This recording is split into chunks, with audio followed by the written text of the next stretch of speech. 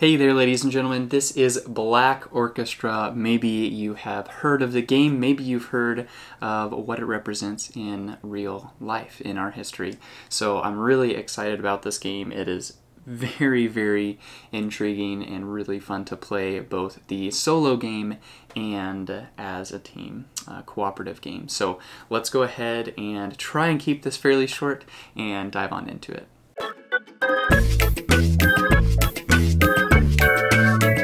So this will by no means be an exhaustive uh, rules game or anything, rules video on how to play this.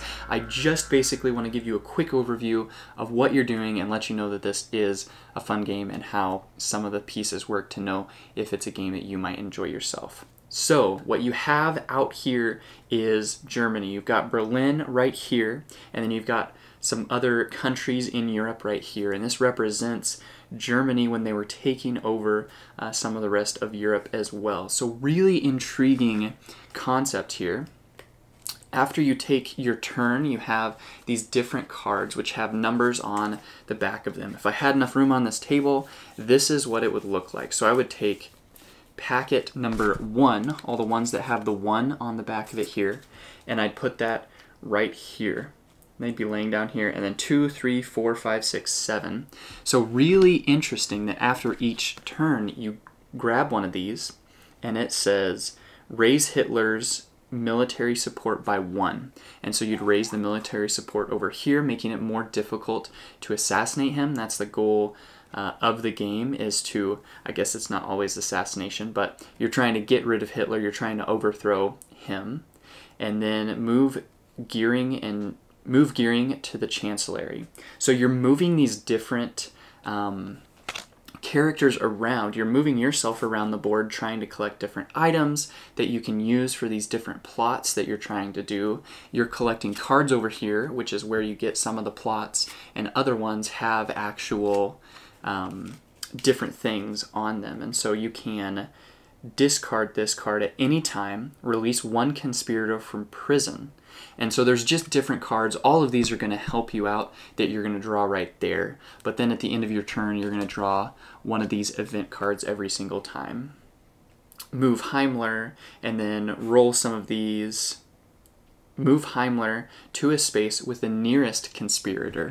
And so sometimes uh, even those event cards can have some different decisions that you have to make that can be good. But we won't dive too far into that. It's a really, really cool uh, concept of those events, working your way down and expanding more of the map for you to be able to use because when you're in number one right here the event cards number one you can only move around on the board in Berlin and the cards are these spots that say one on them, and then two opens, and then three, four, and it continues to shift down this way to where more and more of the board opens.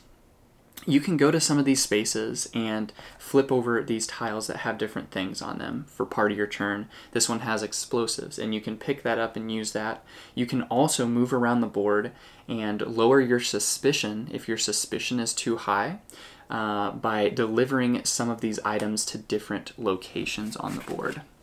So each of you selects a character here. There's nine characters, so uh, really, really intriguing to pick who you want to be, and they all have different little abilities that they give you, and some with these different different names up here.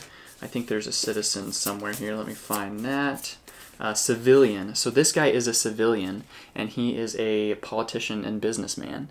And so there's some plots that because he's a civilian, that would help him to uh, be able to to do that. And his uh, extra ability is at the start of your turn, add three cards to your dossier your dossier limit is increased by two. So he can hold more cards, which is really, really valuable. There's another guy here that can hold more items, uh, all sorts of really, really beneficial things for your group. So that's something that each person grabs one of those, and then with these little cubes, you track your suspicion and your motivation. And so that is really important to the game. You have to have enough motivation to be able to attempt a plot and if you get all the way up here to reckless, then you can attempt even some more plots, which is, uh, or it helps you with other plots, which is really, really nice. But if you get over here, your suspicion raises all the way to extreme. I guess I can show you guys a little bit. If it raises all the way to extreme down here, and then a certain card is flipped out, then you could go to prison. So you're trying to figure out what the best way uh, and decisions to make this make this happen, uh, what's going to be the best for your team. It is even on the easiest setting. This is not an easy game, which I think is is great. You know, this is this is a game that you would want to be, I think, more difficult than overly easy, um, because of just the historical gravity of kind of this situation. You know, Hitler and and everything that.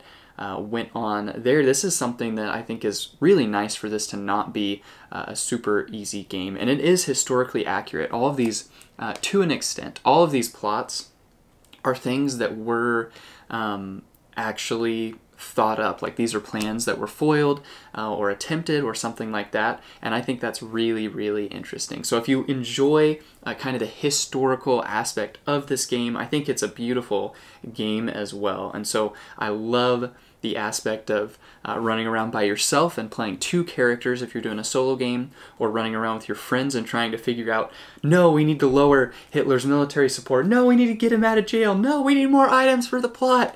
Uh, just trying to figure out what to do and having the suspense kind of elevate as you play the game is really, really, really well done. So I really enjoy it. Uh, the rules can be somewhat difficult to grasp at first. There was a great video that I watched out there uh, that really helped me, I think, with some of the rules.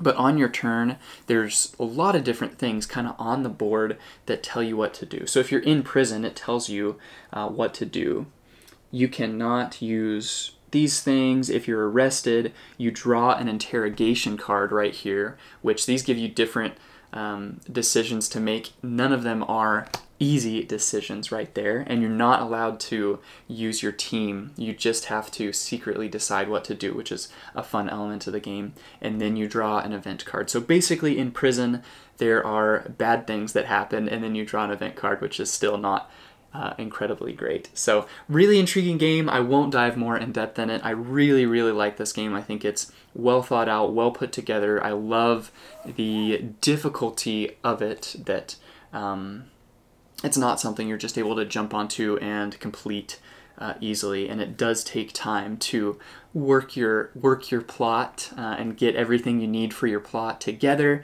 And then Hitler, you know, you may draw an event card where he moves. He was right where you needed him to be, and then he moves. Uh, so I love that some of that um, is, is a good balance of being realistic, but still giving you uh, kind of a fun possibility for being able to win the game. So to win the game, there are all these dice right here that play effect in different things. And the more you get, the more possibilities you have to roll these targets. There's two targets on here. There's numbers one, two, three, and then there's this little symbol right here, which stands for the bad guys. And so depending on uh, what you have to roll, you have to look at Hitler's military support and you have to roll that many um, that many targets to be able to complete that assassination. So different items will give you more of these cubes and that kind of thing. So really, really intriguing. Enjoy this game. Hopefully that's given you guys a touch and a taste of what this is, what it does, and why it may or may not be right for you.